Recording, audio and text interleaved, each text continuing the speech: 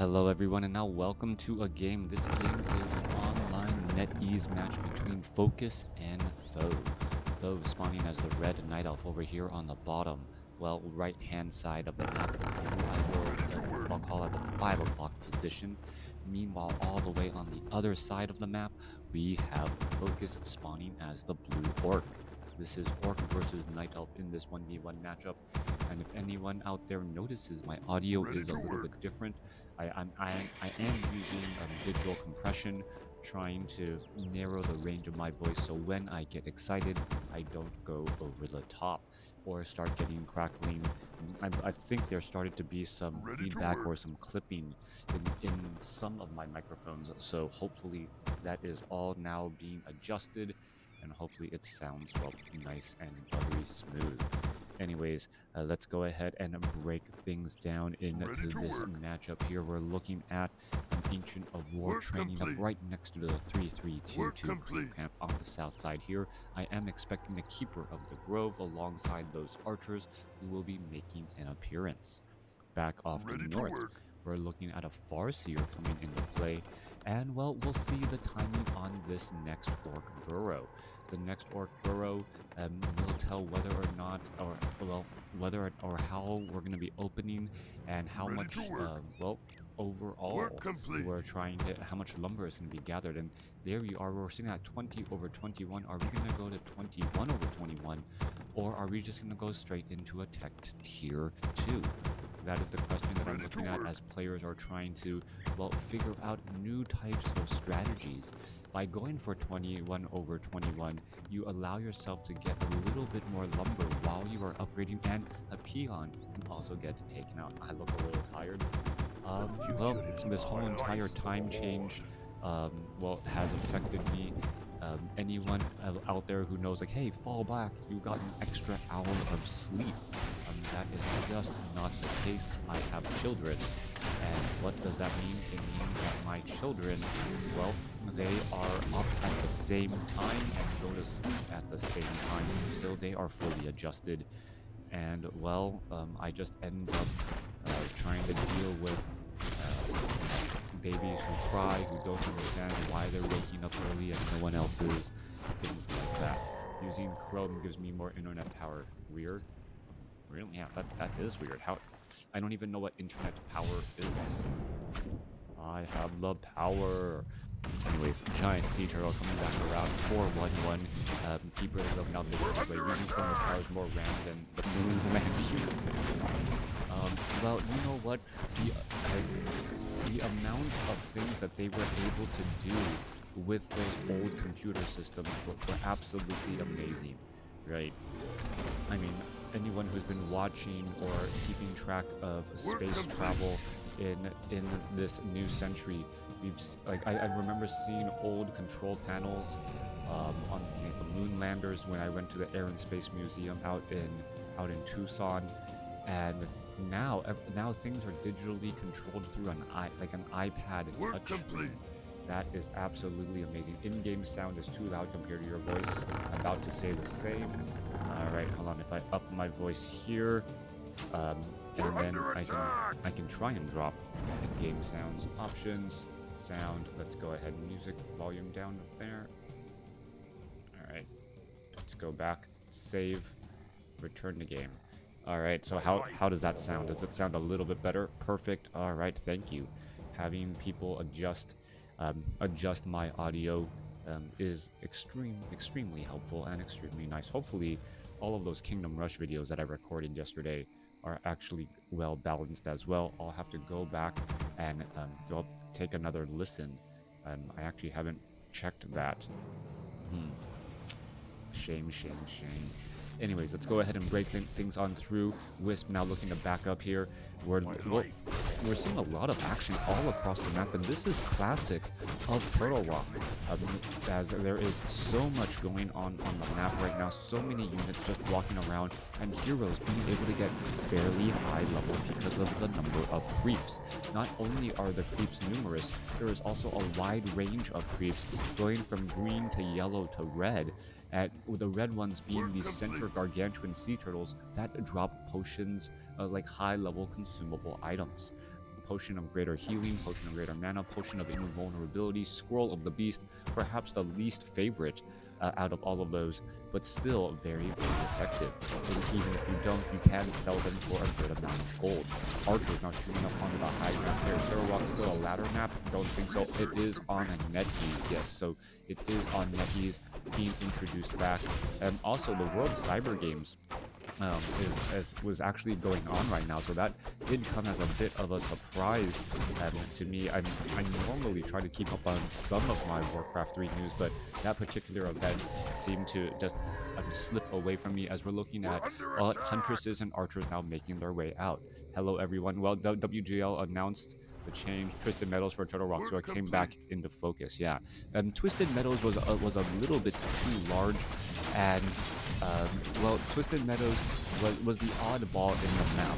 The, the wide, wide open uh, battles out in midfield allowed for a lot more, a lot more melee units, and then all of a sudden it got dropped for Turtle Rock, where um, archers and ranged units tend to reign supreme. Turtle Rock will always be voted. I wish they actually introduced new maps like Ruins. Yeah, um, having new maps, introducing new maps into the map pool. Um, and and this is one of those things where if you ask the professional players would they want it, it's it, it's almost a catch-22 because um, the professional players would then have to train much more to be able to, to continually and effective and play effectively. So if you ask if you ask someone, hey, do you want to do more work? Well, it's it, it's almost like, well, I don't necessarily want to do more work. I know that this particular map may be a bad, bad matchup for me, but I've already trained for it.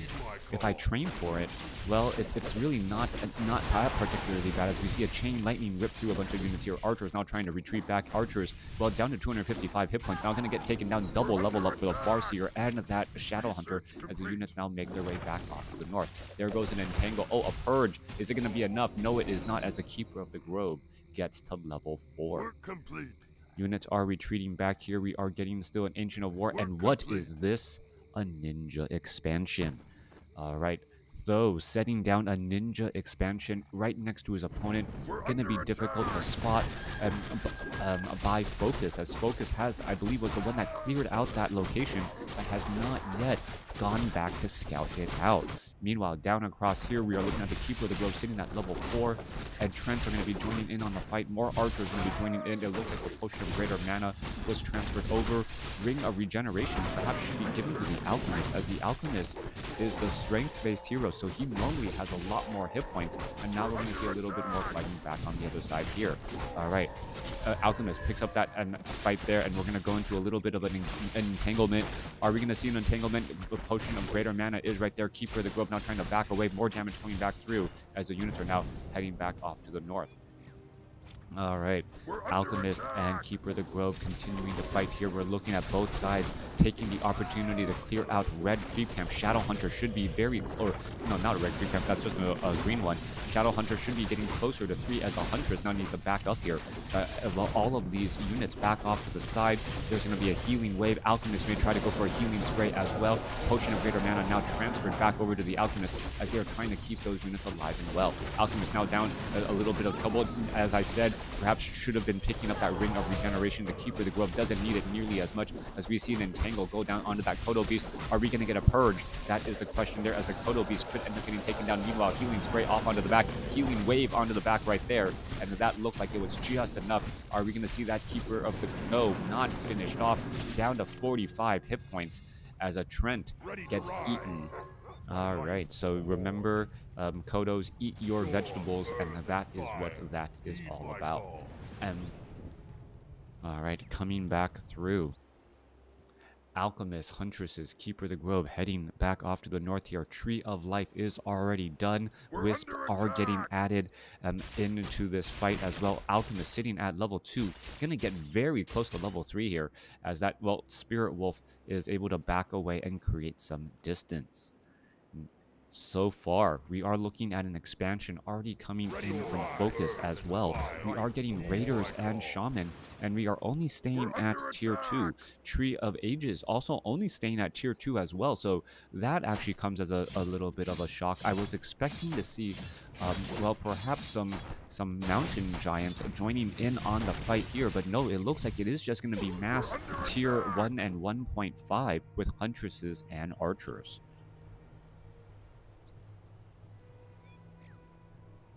All right. Where are units going to be going into next? Farseer does have a Cloak of Flames. Not necessarily the best item of use there. Forest Troll Berserker, one more shot, maybe two. We'll finish it off. There it goes, as this last Forest Troll Berserker going to get cleared up by these Dire Wolves. Inside the base here, Treants are just walking on inside, causing some problems. Dire Wolf gets taken down, getting in a little bit more gold. Meanwhile, Alchemist is sitting at level 3. What item did he pick up? Uh, it looked like it was a scroll of the beast that was quickly sold as the keeper of the grove now going to teleport back and regroup, regroup with the army. 49 supply compared to 50. Um, are we going to see a little bit of an engagement? Yes, a little bit of attack from behind going after those units. There are serpent wards now down, and the giant sea turtles are going to get well popped here. There goes a chain lightning to ensure the kill as the units are now trying to retreat back. No entangle. So many purges available from the shaman to ensure that the, well, the Keeper of the Grove is pretty much shut down. Interesting that Focus did go for Shadow Hunter over the Tauren Chieftain, especially as we're seeing um, Chain Lightning used that much. Um, I'm, I'm I guess the reasoning behind it is Healing Wave has been able to save some of those Kodo beasts, ever any unit that is actually focused down. Also, on top of that, Serpent Wards at level 3 are a great job shutting things down here. All right, it looks as though the Watchtower is going to try and get constructed here. Units are now trying to make their way back. Another Spirit Wolf making their way through as the Keeper of the Grove tries to create some separation. All right, there goes an Acid Bomb across multiple units. Huntress is trying to bomb in some damage as well. Kodo Beast unable to catch up as there is an ensnare here. Meanwhile, coming back across archers are, well, trying to sh actually shadow melding, and things are not looking good. Oh, a beautiful, beautiful ensnare right on the corner, causing a little bit of traffic jam, causing a surround onto an archer as well as those raiders are really doing their job focused, starting to pull out ahead here, especially as this watchtower is the watchtower. No, watchtower is not going to get constructed as the Treants are able to make their way over. All right, there goes a healing wave across multiple units. No Spirit Link, um, as as there is only uh, but shamans and not Spirit Walkers. That well, one grunt does get taken down and ensnare onto the alchemist, but there was still time for enough healing spray to keep him alive a new tree of life being constructed off over here. This entangled gold mine, is it going to be able to pay for itself? That is the question now as the units are making a mad run off into that location. Keeper of the Grove, instead of defending this expansion location, looking to clear out a Red Creep camp instead. This is Real-time strategy games are a game of seconds, as I have mentioned in the past, and using that time when while your opponent is taking down your gold mine, while you are in fact clearing out a very high-level creep camp, getting experience and getting gold onto your units is uh, well, actually very useful as well. All right, level 5 now on that Keeper of the Grove, level 4 on that Alchemist, Alchemists still always low on hit points, apparently, as we see a, a Keeper of the Grove make their way off over here to try and shut down this Great Hall. Alright, the Treants off over here, slowing their opponent's presence, but quickly getting purged down, as this one Great Hall will get cleaned up here momentarily. Peon has scouted out this second tree of or second tree of life indeed as a watchtower now getting added. Great, yeah, great map movement and great map awareness um, on a on a such a small map like this, it can feel very large because of all the places where your opponent can be, and all of those places actually matter. Um, Twisted Meadow is kind of a, a little bit of the opposite, where your opponent uh, your opponent can more be in quadrants than in actual actual places. All right, we are looking at 57 supply compared to 49. Um, Tree of Life is already up, but the Entangled Gold Mine is not yet done. There has to be some sort of defense here as the, well, units are coming in to engage. All right, Tree of Life is going to take a lot of bonus damage from those Raiders. That's going to be a problem. Treant's now joining in. Keeper the Grove coming in from behind. Is the Tree of Life going to be able to get a repair off or anything? It does not look like it. But while the Raiders are dealing damage to that Tree of Life, we see that the Keeper the Grove is trying to focus down some of those other units. Unable to do exactly that, though. We are looking at 50 supply compared to 57. Army sizes are about the same. Units still continuing to make make their way through across the map, though. Keeper of the Grove now making their way off to the north. Where are we going next?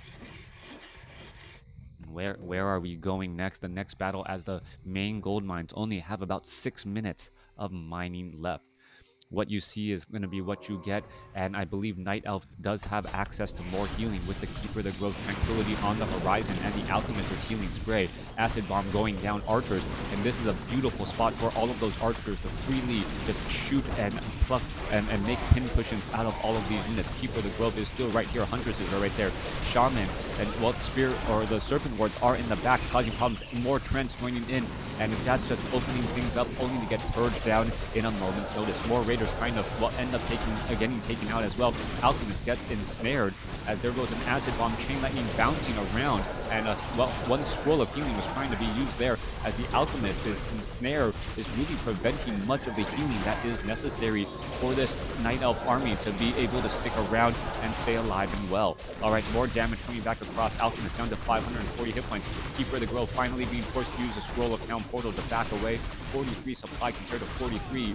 And wow, two dead huntresses at the very last moment. And the Farseer not getting taken down. Focus with incredible focus in that battle, uh, knowing when to push and when to retreat. But now, what can uh, what do we need to see here? Clarity potion being used while the pendant of energy and the robe of magi are both dropped. With the faster attack speed, Kodo Beast. Oh, there's a Huntress in the belly of the beast. Though gonna be falling behind the 40 supply. supply. There is an, another expansion trying to be built. There is a Wisp off over here. Spirit Wolves are already in the process of doing scouting as the Shadow Hunter really wants to get back into that 300 mana range. You can you can tell he purposely leaving behind those mana items. Meanwhile, the Alchemist, who has, is normally, well, the backbone of the, or what the backbone of the healing of the of the fight, they're unable to do exactly that because the amount of raiders with ensnare. With that ensnare right there, oh, there goes another force of nature to get taken out.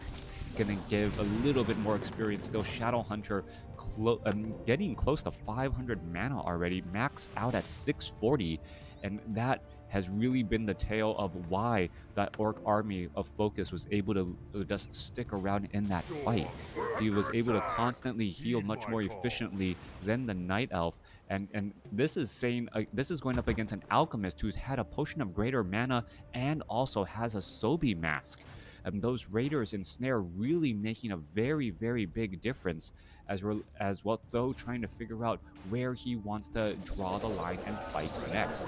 More units are going to get healed back up. Everyone is getting all topped off. Keeper of the Grove now has the Hood of Cunning. Um, no, going back and forth, not quite sure what's going on there. Hood of uh, Cunning is intelligence and agility by 5 now, significantly stronger than before. And there is that plus 5 damage. Um, yeah, we'll see what is going to end up uh, coming down here. All right. Are we going to see uh, the next fight? Where where are those oh, spirit wolves going to be making their uh, well locations? We are looking at well a great hall, a pocket great hall for tier three. That had to be a pocket great hall. Yeah, fortress was established to get that pocket great hall, and well constant purging and bonus experience from uh, um, from those treants, and that is going to start to become an issue if you just start feeding your opponent experience. Um, it does eventually start to add up. And yeah, making... I personally like the plus 5 versus the plus 4. It, it the, the plus 10 to overall stats for those items compared to Circlet of Nobility as a plus 6. And that's really the difference right there. Trying to adjust Circlet of Nobility is, is near impossible, but being able to adjust the uh, other higher items, right?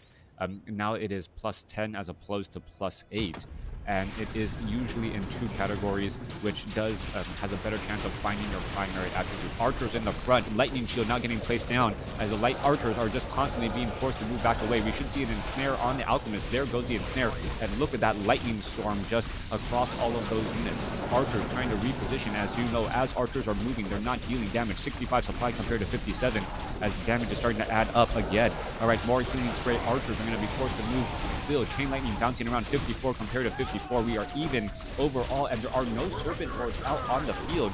It looks as though the Shadow Hunter is purposely keeping all of his mana for um, more and more healing.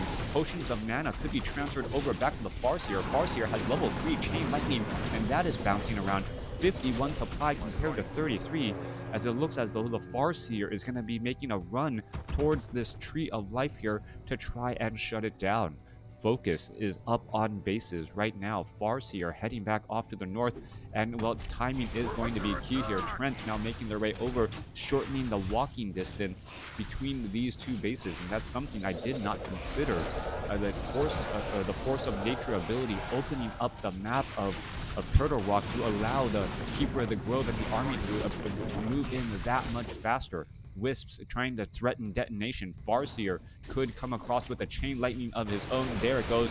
Five Wisp pretty much taken down as, um, well, one does get the detonation off. All right, Alchemist is out of mana and out of options. Keeper the Grove sitting at level 5. We're seeing more damage come on through here. A couple more uh, damage in the back. Spirit Wolves getting added 56 supply compared to 40. Where is the rest of this Orc army?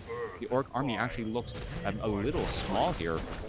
As we're seeing more engagement, there goes one Spirit Wolf. Another Spirit Wolf could get taken out. The Sobi Mask, is it given to the Keeper of the Grove? Yes, it is. As we're going to see this one Tree of Life. Are we going to see some repairs? No repairs at all. As the Healing Wave still bouncing around. And it is going to be another hit and run tactic once more. Focus retreating after dealing terrible, terrible damage. Any transition from Tho? In, no, Night Elf has no Dispel transitioning into a loss. Yeah, no. So, not quite sure what to make of this. Those hit and run tactics from the Orc army, extremely powerful. Shadow Hunter being used mainly as, uh, as, as ways to heal the instantaneous heal of Healing Wave versus the the the perhaps sometimes more effective heal of keep of Healing Spray. However, the, um, the Alchemist's Healing Spray has not We're been able to be used in combat. Units, well, ready to position themselves again. 44 supply compared to 62.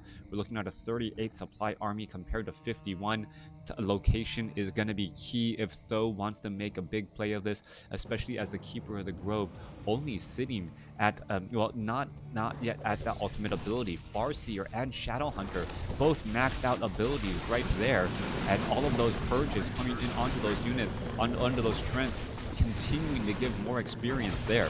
All right, let's making their way back down. All of these Spirit Wolves, are how much damage are they going to really be able to do? Keeper of the Grove gets up to level 6, but Tranquility may not make a difference when your opponent has that many, well, Raiders with Ensnare. There you go. There is that Tranquility, a little bit of last-ditch effort, trying to create a little bit of separation. A Raider comes through the woods and throws down the Ensnare onto the Keeper of the Grove. That was an A for effort, but, well, uh, the, his own trend and his own deforestation action causing the problem. Tree of Ages in the middle right now. Keeper of the Grove, Healing Spray, of invulnerability to try and stay alive as well, as this is not yet done being entangled. More healing spray getting added in. There goes the ensnare down. 31 supply compared to 61, and the GG should be inbound as the Huntresses, uh, well, are starting to fall. Uh, what is this? Raiders are in the backfield. They're not engaging. Farseer, does it have a Chain Lightning in store? It does not. And Focus, with a great, great effort and a great game, coming out on top. I thought the Ninja expansion would have given a better, well, better start overall to Tho. That ended up not being the case. And I wish I could see like a chart in um, in Warcraft 3, similar to StarCraft 2, which actually shows the running total score between both players over time. Um, that way, you can actually see a little bit of those lead changes going back and forth. But and really, Farseer, Farseer, Shadowhunter, essentially two, I, I can't say intelligence-based heroes, two mana-based heroes with very, very interesting play. Um, and uh, what was also on interesting on top of all of that was well the amount of uh, was how Focus opted to use his mana. He opted to use his mana for serpent wards in his defense, and I think that caused Tho to transition from a, a much heavier huntress army to to more archers. Once that happened, well, we saw that focus said, okay, I, he must have made the adjustment, saw that there were so many archers out on the field, and said, you know what, my raiders can handle this. My raiders can absorb more damage, more piercing damage. I'm going to go ahead and transition from using serpent wards since the serpent ward attack isn't that great against an archer to just healing my units and outlasting my opponent. With that and the inability for those the alchemists to be able to channel that healing spray because of the raiders things started to tip in favor of focus. Great decision making great great reaction by focus there for the win. Thanks for watching. Thanks for listening